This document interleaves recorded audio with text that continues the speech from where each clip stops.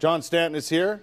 My good friend Phil's here from the running room. How are you? Good. Good, good. Great to be here. Good to see you again. Yeah, and you. I get to see you once a year. That's right. Yeah. Either running time or golf time, That's right. We should get out and golf someday. for sure. Um, listen, this is uh, this. What happens today, fellas? Like uh, for people in the uh, five and ten k tomorrow, Yep. and then the marathoners on Sunday. Well, today is a day of rest. Is it Today's not? a day of rest. Everybody should be resting today, getting ready for uh, the races tomorrow. No matter what they're in. Yeah, that's right. And a lot of times, uh, if you're in the 5K or, or running tomorrow night, uh, tonight's the night you want to do your carbo loading.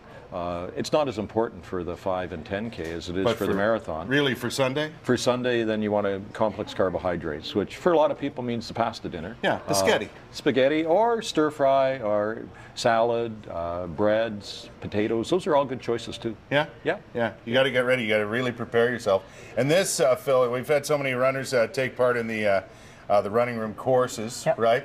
Uh, for various events. Yeah. This is uh, this it's all Graduation day. Yeah, it all leads up to this, right? And for so many uh, so many people, it's a first time. Yeah. And that's what's so cool about this thing. Well, that's right. And there's a lot of sort of nervousness around. And a couple of things we do is uh, Saturday morning at 9 o'clock from City Hall, we do a little friendship run. Mm-hmm. And everybody gets together and we give them some last minute tips and get them ready to go. Uh, we show them the start line, show them the finish line, go for a little jog. Everybody kind of calms down because everybody, whether you're running your very first marathon or somebody running their 60th marathon, Yeah. they're all nervous coming into Yeah. race morning. That's part of the, the, the whole excitement around the event. It's funny every time I see John. Of course, I start getting the guilt because I know that you know you you weren't always a runner. No, you weren't no, always no. in good shape. No, that's you right. weren't always uh, a fitness guy. Yeah. Right. Yeah. No, I got back into it. It was my kids that talked me into it. Yeah. It was an event like this in in uh, Edmonton that really was the. Oh, when, when was that? uh, you know, that's 30 years ago now. And then you started the running and room then I started that? the running room. Yeah, because I was this uh, 238 employed pound- Phil? and employed Phil and a whole bunch of other people. Yeah, for over 20 years too. Exactly. It's uh, become a It's huge been a marathon in franchise. itself. yeah. How many stores are across the country now? Uh, now we've got 118 across Canada, and we're in the U.S. with 10 of them. So we're the You're into Canadian, the United yeah, States we're a. Canadian company that snuck under the border and gone that way. You're rather than right, smart. You are.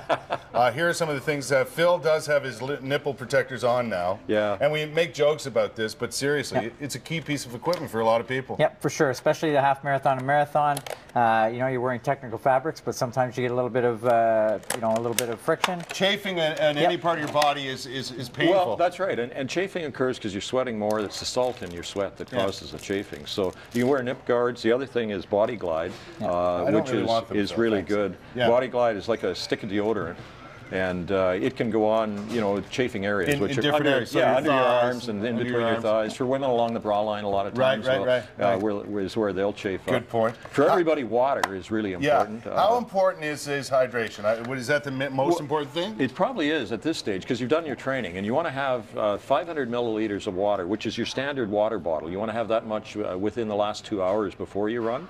And then throughout the race, you should be sipping water. And we highly encourage people to take water. Even though there's water stations on the course, Yeah, take water. with you. That, that way you're having it when you want it. Uh, too often we're out there and if there isn't a station where you want water, you're, you're wishing there was, or you go by a station saying, I don't need it, and 100 yards down you say, gee, I wish I'd have taken water. So take water with you, keeps it the, as normal to your training as possible. Yeah. yeah. Uh, All of these things you can find out too at the expo over Yeah. there. You can go to the running room and ask questions today if you need Today, to. yeah, and we're doing a little uh, talk over at the expo and giving people last minute tips over there. They can drop by the booth and we'll be around. Yeah. Anybody's But- got any questions, we can answer. And I'm going to see you guys tomorrow because both uh, Phil and John are instrumental in, in making things happen, along with a great crew of volunteers and people uh, behind the scenes. So we'll be uh, getting people ready for the 10K tomorrow. Uh, and then Phil and I are going to be at the finish line tomorrow, so I'll help do some announcing. Right? That's so, And exciting. it's a lot of fun. I mean, there's nothing nothing like watching these people, these 10,000 people, Yeah. uh, leave at the at the start line and see them come through in the finish line. Well, if you want to get motivated to run, stand around that finish line. You can't help but get inspired.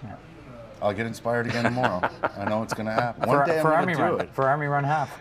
I, yeah. We could have you ready one day. We could have you ready. It happened to you, right? Yeah, that's right. Maybe I'll come up with some great idea and have a company. I don't know. Listen, fellas, a pleasure. Thanks for taking some time out of a busy schedule to come see us, and uh, we'll see you on the weekend. Great to be Hope here, It's Kurt. very successful.